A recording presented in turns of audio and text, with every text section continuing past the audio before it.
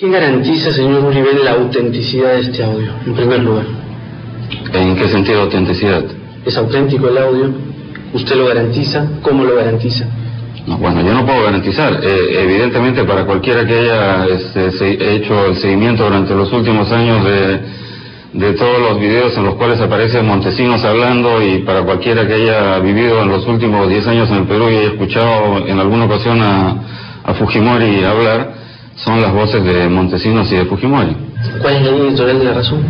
Es un periódico independiente de oposición. ¿A qué juega La Razón? ¿Quiere tumbarse a Toledo? No, La Razón no quiere tumbarse a nadie. La Razón informa sobre lo que está ocurriendo en el país. Ustedes sabían del audio desde hace ya tiempo.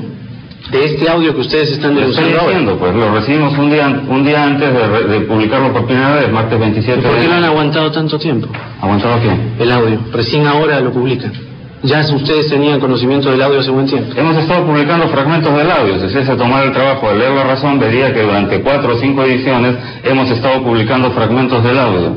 No lo publicamos completo porque consideramos que en términos periodísticos iba a pasar inadvertido debido a que el escándalo Almeida irrumpió por un lado. Por el otro lado, el audio tiene algunas fallas eh, auditivas, valga la redundancia, y hemos estado tratando de limpiarlas para que no ocurriera lo que ocurrió con el audio de Almeida, que fue, dado, fue mostrado por televisión y simplemente no se escuchaba nada. Periodísticamente, ¿cuál es la novedad de este audio usted que lo ha escuchado?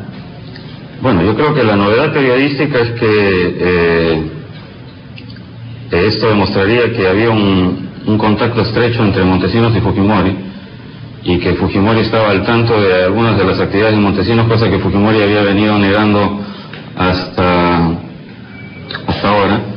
Eh, es de alguna manera ya sabido de que el Servicio de Inteligencia Nacional hacía seguimiento a los candidatos y tenía files sobre su vida privada. ¿Y por qué no decían ustedes eso en los titulares? Más bien achacaban a, a Alejandro Toledo.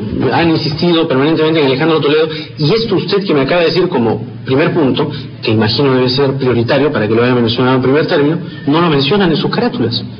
Se menciona adentro, no se puede mencionar toda una Sí, carátula. como carátulas no son una el impacto que tiene una carátula, ¿no es verdad? Bueno, este, la decisión periodística fue resaltar un tema en lugar de otro. No creo que eso constituya... Que es parte de la línea editorial de la razón. Sus capas parecen hacer eco de lo que dice Montesinos. Es un consumidor de drogas. Bueno, es inf- esa es una inferencia suya.